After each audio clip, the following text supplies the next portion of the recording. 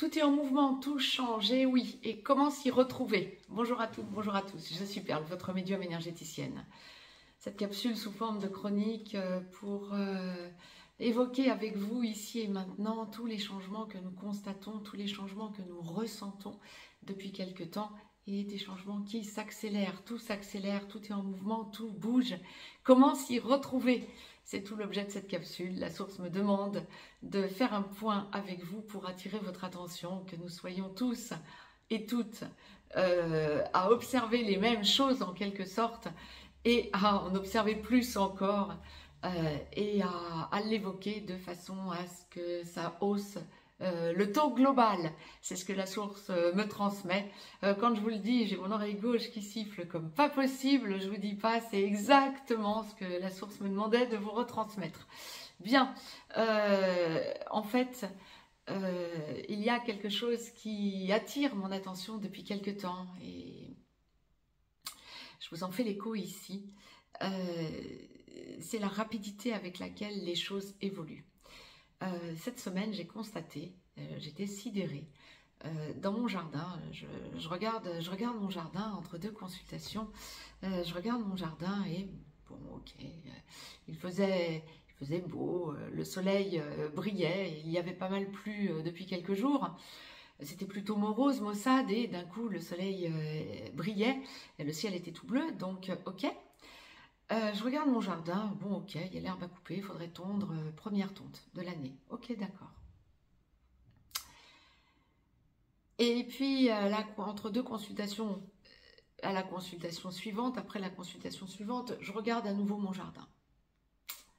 Dans l'herbe, mais à plein d'endroits, il y avait plein de, myosotis. Forget me not, bien sûr, évidemment. des myosotis, bon, euh, c'est le nom anglais euh, qui, est, très évocateur, n'est-ce pas? Forget Me Not, bien sûr, évidemment. Euh, mais des myosotis qui sortent en deux heures, pour moi, c'est quelque chose que je n'avais encore jamais expérimenté. des graines qui poussent aussi très rapidement. Si vous êtes adepte des graines germées, eh bien vous allez vous rendre compte qu'elles poussent beaucoup plus vite que d'habitude, depuis quelques temps. Euh, si vous avez envie de regarder la nature un peu plus, pour s'en arrêter au règne végétal, mais je viens euh, à la suite euh, juste après, hein, si on s'en arrête au règne végétal, les bourgeons sortent aussi très très très rapidement comme on ne les a jamais vus sortir. Tout est en pleine évolution, tout est en plein changement et tout est en plein éveil, j'ai envie de dire. Les végétaux qui s'éveillent, les végétaux qui changent, les végétaux qui se manifestent autrement, qu'antérieurement. Euh, alors, ce ne sera pas forcément global. On va se rendre compte qu'effectivement, ça va en toucher plus certains que d'autres. On est bien d'accord, même dans une, même catégorie euh, de végétaux. Hein. Euh, mais c'est quelque chose à noter. Et pour que la source me demande de vous le retransmettre, eh c'est pour que, effectivement, non pas je vous dise quelque chose d'évident, mais c'est attirer votre attention pour que vous veniez vous aussi constater ce genre de choses et peut-être attirer à votre tour l'attention de tout un chacun, de, tout le monde, euh, sur d'autres choses que vous constaterez du même genre. Euh, si on regarde aussi le règne animal, règne végétal, donc euh, bon, des choses vraiment qui vont beaucoup plus vite qu'antérieurement, qui change beaucoup plus vite qu'antérieurement. Pas forcément après qui... qui on sent, un éveil différent, le besoin de sortir, de ne plus avoir une appréhension à sortir, d'aller beaucoup plus vite en, en, maturité en quelque sorte. Pour les animaux, c'est pareil. De plus en plus, les animaux euh, se tournent vers les humains. Alors, vous avez des animaux qui vont être plus ou moins agressifs, bien sûr, ça, euh, on ne le changera pas. Hein, euh, comme ça d'un claquement de doigts. C'est comme pour les humains, c'est comme pour les végétaux, bien sûr. Hein, tout règne euh, du vivant confondu. On n'est pas tous logés à la même enseigne dans cette vie, en tout cas, bien sûr. Euh, mais par contre, de plus en plus d'animaux se tournent vers le règne humain et euh, nous montrent clairement qu'ils attirent notre attention ou qu'ils ont compris des choses ou qu'ils évoluent différemment. vous avez de plus en plus d'animaux qui vont avoir des comportements humain. Je n'exagère pas dans la façon d'être, dans la façon de, venir à nous, de se présenter à nous. Euh, des animaux qui se mettent à parler là où antérieurement ils n'auraient pas nécessairement, euh, alors qu'ils se mettent à parler là, dans leur langue. Hein. Bien sûr, je ne dis pas qu'ils parlent humain, hein. euh, mais pourquoi pas pour des perroquets, hein, par exemple, bien sûr. Mais euh, c'était pas mon, propos. Mais des animaux qui nous montrent qu'ils changent d'attitude. Euh, des animaux qui nous montrent aussi qu'ils nous comprennent beaucoup plus facilement. Alors là, ça va être plutôt nos animaux domestiques, entre guillemets, je n'aime pas ce terme, mais euh, nos bébés, quoi. Ça, ça va plutôt être ça. mais même des animaux sauvages, Regardez le règne des oiseaux et vous allez être surpris par des changements euh, chez les oiseaux. Euh, des animaux euh, extérieurs, des renards. J'ai été amenée il y a pas longtemps à voir une famille renard. Alors c'était adorable, hein, un papa qui traversait la route, les renardeaux qui suivaient la maman qui fermait le rang. alors ça m'est arrivé plusieurs fois ce genre de choses dans ma vie, mais là très récemment, J'étais, je n'étais pas du tout en voiture, j'étais à pied et ils ont traversé devant moi la route et ils se sont arrêtés et le papa est venu vers moi. Euh, pourtant, ce sont des animaux sauvages, sans aucune agressivité, hein, j'entends, alors qu'il y avait ces, bébés derrière lui, quoi. Euh, on voit ça aussi chez les hérissons très fréquemment. Euh, puis vous pouvez le démultiplier, hein, vraiment. De plus en plus, le règne animal se tourne vers le règne humain. Alors peut-être aussi qu'ils ressentent nos bonnes vibrations ou nos mauvaises vibrations, bien évidemment. Ça va dépendre de l'humain qu'on a, qu'ils ont en face d'eux, bien sûr. Peut-être. Euh, et bien sûr, je ne vous dis pas de faire ami-ami avec n'importe quel animal, bien sûr. Méfiez-vous toujours, évidemment. Mais euh, les choses évoluent. Je pense que tout un chacun est amené à le constater.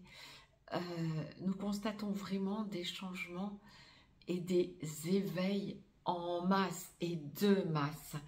Euh, la lumière est en train de gagner du terrain, la lumière est en train de gagner tout court. Nous sentons de plus en plus que nous ne nous laissons plus impacter par quelque peur que ce soit. Ah ben, les végétaux et les animaux, c'est pareil. Vous allez le constater en observant la situation. C'était tout le propos de cette capsule parce que effectivement, la source nous amène à former un tout, à sentir que règne végétal, règne animal, règne humain, nous formons un tout. Ça a toujours été le cas, mais plus que jamais dans le réveil. Nous avons besoin les uns des autres et en conscience pour sentir que nous évoluons ensemble. Alors ça va nous ramener à quelque chose d'essentiel, bien sûr, c'est la scission des deux mondes en un, hein, que je vous ai évoqué à de multiples reprises maintenant. Euh, et la, cette scission des deux mondes en un, nous sommes sur deux terres différentes.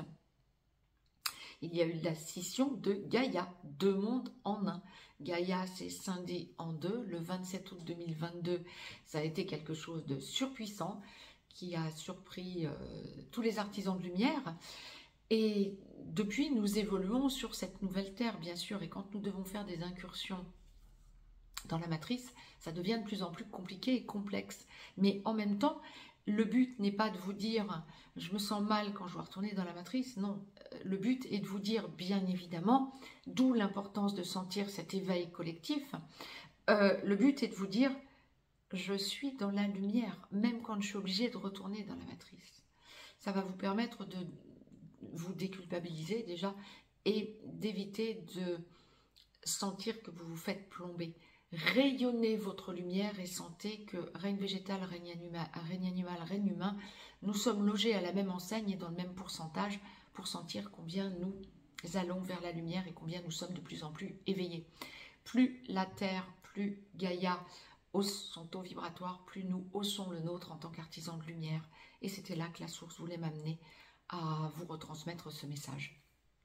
Donc, observez autour de vous les végétaux, les animaux, les humains qui vibrent comme vous, bien évidemment. Pas forcément sur les mêmes sujets, hein, ça peut être euh, euh, sur n'importe quoi. Ça va d'ailleurs décupler nos éveils. Euh, et puis, sentez combien ça vous permet de rayonner. Ne pas non plus, bien sûr, en vouloir aux êtres vivants, règne végétal, règne animal, règne humain, mais surtout règne humain, bien évidemment pour vous, qui essaient de vous tirer vers le bas et qui sont restés dans la matrice. C'était écrit comme ça pour eux, c'est ok aussi.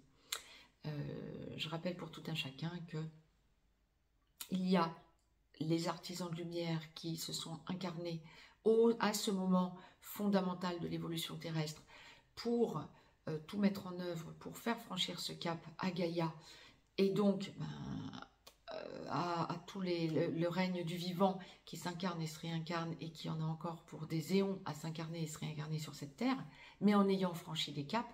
Et puis il y a tous ceux qui se sont incarnés, règne végétal, règne animal, règne humain, non pas pour participer à cette évolution, mais pour l'observer, pour que ça facilite leur travail dans leur vie à venir. Une fois que ça euh, c'est accepté, eh ben, ce sera plus facile de comprendre que vous ne pouvez pas forcément attendre de tout un chacun qu'il soit éveillé, mais que vous êtes des semeurs de graines, tout simplement. Mais les végétaux et les animaux, dans le même pourcentage également, sont des semeurs de graines, y compris les, petites graines que sont nos végétaux. Donc observez ce qui vous entoure et sentez combien ça nous met tous en rayonnement que, de voir euh, tous les règnes du vivant euh, se réunir, se regrouper dans la lumière. C'était le message que la source me demandait de vous retransmettre. Le message est passé, n'hésitez pas à le partager, à partager donc cette capsule, à me mettre un pouce vers le haut, ça me fera plaisir. Vous pouvez aussi vous abonner à la chaîne euh, et ça me fera plaisir également. Ça vous permettra d'avoir euh, toutes les capsules en temps et en heure dans votre enfilade YouTube. Euh, et n'hésitez pas, juste en dessous dans le descriptif, vous avez un lien si vous souhaitez me consulter pour une consultation privée. Je vous embrasse, à tout, tout bientôt pour des chroniques.